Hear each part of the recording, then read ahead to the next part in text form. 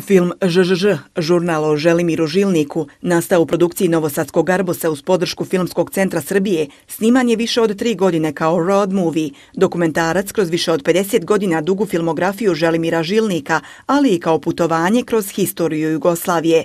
Želimir Žilnik autor je brojnih igranih i dokumentarnih filmova, jedan od začetnika žanra doku drama, nagrađivan na domaćim i međunarodnim filmskim festivalima. U filmu Janka Baljaka kroz priču o Žilniku i njegovom stvaralaštvu također se prati i pronalazak davno cenzurisanog i zabranjenog filma Sloboda ili strip, koji je prije 50 godina cenzura zaplijenila, a koji je nedavno slučajno pronađen. Imali smo tu e, zaista ovaj, e, neverovatnu sreću da Žilnik pronađe tu kopiju filma Sloboda ili strip i da film kao vezivno tkivo ima i taj segment E, njihove dečačke radoznalosti njega i Karpa Ćimovića godine koji gledaju kadrove posle 50 godina i razmišljaju kako da završe. Priča je to o neprekidnoj borbi za obespravljene socijalne i manjinske grupe, koje su neprekidno glavni junaci žilnikovih filmova.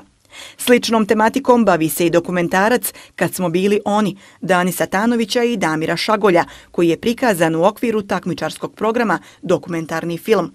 Ovaj film govori o hiljadama migranata zaglavljenih u sjevernom dijelu Bosne i Hercegovine. Tanović i Šagolj su prikazali svu brutalnost i nehumanost života ljudi u pokretu koji pokušavaju doći do Evropske unije u nadi da će tamo ostvariti bolji život. Lokalni zakon kažu da ne smijete staviti migranta u auto da mu pomognete. Imali smo slučaj neke žene koja je hodala 10 km s djetetom u naručju i ne smijete uzeti u auto jer stoji policija i optužit vas za, za uh, human traffic, za, za krimčarenje ljudi. ne može svako pomoć tim ljudima, ali ne moramo im baš odmagati toliko. Tanović je naveo da postoji ideja da se snimi i duži film o ovoj temi. 27. Sarajevo Film Festival zatvara se sutra svjetskom premijerom filma Toma Dragana Bilogrlića.